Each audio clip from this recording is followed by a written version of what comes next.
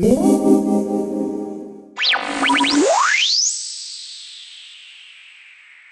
it's Brett from PixelPipe, and I'm going to give you a little preview of a new feature we've added uh, called Quick Post. So we have a Quick Post widget, which is based on WRT, existing now, but now we've got a new Quick Post widget that's Qt based. So this plugs into the existing PixelPipe application, very simply allows you to set status updates and blog posts directly from the desktop. Uh, we have a character counter, and because this is Qt, these uh, fields here will grow.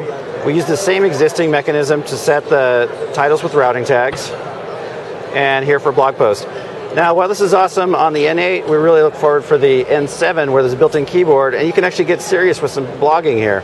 So this is the first this is the first feature we're going to add as an extension to PixelPipe Send and Share, be available in the market uh, any day now. And uh, one comment I want to make on Send and Share is it's not just for the N8 this hoopty little AT&T Nokia phone also runs Send and Share, uploads 250 megabyte files. If you can figure out a way to get a 250 megabyte file on here, but same functionality of uploading and posting photos and video, audio files is available on this phone, this phone, and everything in between. So, anyways, PixelPipe Send and Share, get it from the Ovi market now.